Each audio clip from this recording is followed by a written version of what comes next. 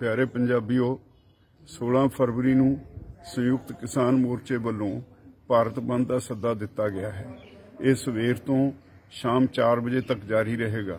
ਇਸ ਭਾਰਤ ਬੰਦ ਵਿੱਚ ਬੈਂਕ EMPLOYEES ਬਿਜਲੀ ਬੋਰਡ ਦੇ ਮੁਲਾਜ਼ਮ, ਐਟਕ C2 ਵਰਗੀਆਂ ਜਥੇਬੰਦੀਆਂ, ਮੁਲਾਜ਼ਮਾਂ ਦੀਆਂ federations Punjab roadways city Punjab roadways ਤੇ ਪੀਆਰਟੀਸੀ ਤੇ ਪ੍ਰਾਈਵੇਟ ਟਰਾਂਸਪੋਰਟਰਸ ਸਭ ਦਾ ਸਹਿਯੋਗ ਸਭ ਨੇ ਦੇਣ ਦਾ ਵਾਅਦਾ ਕੀਤਾ ਹੈ। ਈਵਨ ਆੜਤੀ ਐਸੋਸੀਏਸ਼ਨਸ ਵੱਲੋਂ ਵੀ ਇਸ ਵਿੱਚ ਸਹਿਯੋਗ ਦੇਣ ਦਾ ਵਾਅਦਾ ਕੀਤਾ ਗਿਆ। ਬਹੁਤ ਸਾਰੀਆਂ ਜਥੇਬੰਦੀਆਂ ਆਪ ਮੁਹਾਰੇ ਇਸ ਭਾਰਤ ਬੰਦ ਵਿੱਚ ਸ਼ਾਮਲ ਹੋ ਰਹੀਆਂ ਹਨ। ਕਿਉਂਕਿ ਮੋਦੀ ਸਰਕਾਰ ਹਰ ਰੋਜ਼ ਜਿਸ ਪਾਸੇ ਤੁਰੀ ਹੈ, ਸਾਰੇ ਦੇਸ਼ ਨੂੰ ਜਿਵੇਂ ਕਾਰਪੋਰੇਟ ਹਾਊਸਿਸ ਦੇ ਅੱਗੇ ਵੇਚ ਹੀ ਦੇਣਾ ਹੈ। ਇਸ ਤਰ੍ਹਾਂ ਦਾ ਵਰਤਾਰਾ ਮੋਦੀ ਸਰਕਾਰ ਦਾ ਚੱਲ ਰਿਹਾ ਹੈ। ਜੇ ਨਾ ਰੋਕਿਆ ਗਿਆ ਜਾਂ ਇਹਦੇ ਵਿਰੁੱਧ ਕੋਈ ਮੁਹਿੰਮ ਨਾ ਚੱਲੀ, ਤਾਂ ਦੇਸ਼ ਸਾਰਾ ਵਿਕ ਜਾਏਗਾ। ਮੈਂ- ਮੇਰੀ ਸਾਰੇ ਭਰਾਵਾਂ ਨੂੰ ਬੇਨਤੀ ਹੈ, ਸਾਰੇ ਜਿੰਨੇ ਜਥੇਬੰਦੀਆਂ ਦੇ ਆਗੂ ਨੇ, ਜਥੇਬੰਦੀਆਂ ਦੇ ਵਰਕਰਸ ਨੇ, ਉਹਨਾਂ ਨੂੰ ਇੱਕ ਤਾਂ ਇੱਕ ਦੂਜੇ ਦਾ ਸਤਿਕਾਰ ਕਰਨਾ ਸਿੱਖਣਾ ਚਾਹੀਦਾ ਔਰ ਮਿਲ ਕੇ 9 ਤਾਰੀਖ ਨੂੰ ਆਪੋ ਆਪਣੇ ਨੇੜੇ ਦੇ ਸ਼ਹਿਰਾਂ ਵਿੱਚ ਕੱਲੀ ਕੱਲੀ ਦੁਕਾਨ ਤੇ ਜਾ ਕੇ ਸਭ ਨੂੰ ਅਪਰੋਚ ਕਰਨਾ ਚਾਹੀਦਾ ਹੈ। ਹਰ ਭਰਾ ਨਾਲ ਗੱਲਬਾਤ ਕਰਕੇ ਇਸ ਨੂੰ ਸਫਲ ਬਣਾਉਣ ਲਈ ਪੂਰੀ ਕੋਸ਼ਿਸ਼ ਕਰਨੀ ਚਾਹੀਦੀ ਹੈ। ਯਕੀਨ ਨਾਲ ਕਹਿ ਸਕਦੇ ਹਾਂ ਵੀ ਭਾਰਤ ਬੰਦ ਸਾਰੇ ਦੇਸ਼ ਵਿੱਚ ਪੂਰੀ ਤਰ੍ਹਾਂ ਸਫਲ ਹੋਏਗਾ। ਇਹ ਆਪਣੇ ਆਪ ਵਿੱਚ ਇੱਕ ਨਵੀਂ ਮਿਸਾਲ ਪੈਦਾ ਕਰੇਗਾ, ਨਵਾਂ ਇਤਿਹਾਸ ਸਿਰਜੇਗਾ। ਅਸੀਂ ਉਦੋਂ ਤੱਕ ਇਹ ਜੰਗ ਜਾਰੀ ਰੱਖਾਂਗੇ ਜਦੋਂ ਤੱਕ ਮੋਦੀ ਦੀਆਂ ਕਾਰਪੋਰੇਟ ਪੱਖੀ ਨੀਤੀਆਂ ਜਿਹੜੀਆਂ ਉਹ ਉਹ ਛੱਡਦੇ ਨਹੀਂ। ਤੇ ਦੇਸ਼ ਵਾਸੀਆਂ ਨੂੰ ਮਹਿੰਗਾਈ, ਬੇਰੁਜ਼ਗਾਰੀ, ਆਰਥਿਕ ਨਾ ਬਰਾਬਰੀ ਵਰਗੇ ਮੁੱਦਿਆਂ ਤੇ ਜਦੋਂ ਤੱਕ ਗੱਲ ਨਹੀਂ ਕਰਦੇ, ਸਿਰਫ ਮੰਦਰ ਮਸਜਿਦ ਜਾਂ ਰਾਮ ਮੰਦਰ ਦੇ ਨਾਂ ਤੇ ਵੋਟਾਂ ਲੈ ਕੇ ਲੋਕਾਂ ਦੇ ਮੁੱਦੇ ਜਿਹੜੇ ਨੇ ਉਹਨਾਂ ਨੂੰ ਅੱਖੋਂ ਪਰੋਖੇ ਕਰਨਾ, ਇਹਦੇ ਨਾਲ ਦੇਸ਼ ਅੱਗੇ ਨਹੀਂ ਵੱਧ ਸਕਦਾ।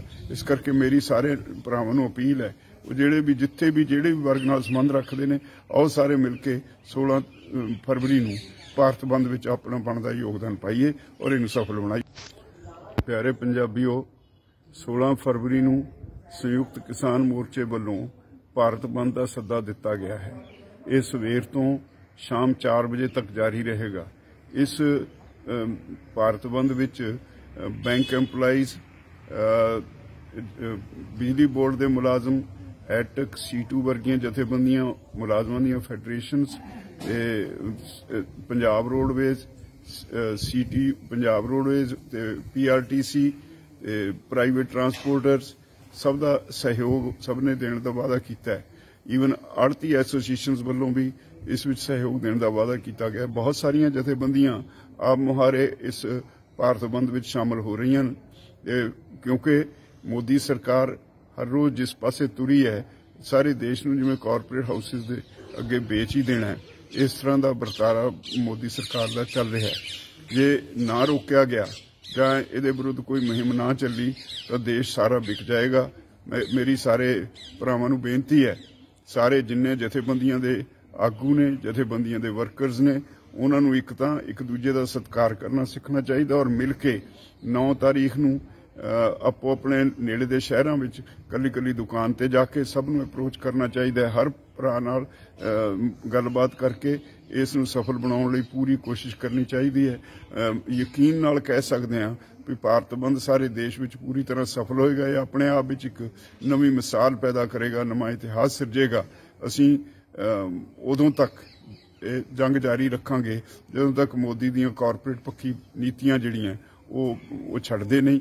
ਤੇ ਦੇਸ਼ ਵਾਸੀਆਂ ਨੂੰ ਮਹਿੰਗਾਈ, ਬੇਰੁਜ਼ਗਾਰੀ, ਆਰਥਿਕ ਨਾ ਬਰਾਬਰੀ ਵਰਗੇ ਮੁੱਦਿਆਂ ਤੇ ਜਦੋਂ ਤੱਕ ਗੱਲ ਨਹੀਂ ਕਰਦੇ, ਸਿਰਫ ਮੰਦਰ ਮਸਜਿਦ ਜਾਂ ਰਾਮ ਮੰਦਰ ਦੇ ਨਾਂ ਤੇ ਵੋਟਾਂ ਲੈ ਕੇ ਲੋਕਾਂ ਦੇ ਮੁੱਦੇ ਜਿਹੜੇ ਨੇ ਉਹਨਾਂ ਨੂੰ ਅੱਖੋਂ ਪਰੋਖੇ ਕਰਨਾ, ਇਹਦੇ ਨਾਲ ਦੇਸ਼ ਅੱਗੇ ਨਹੀਂ ਵੱਧ ਸਕਦਾ।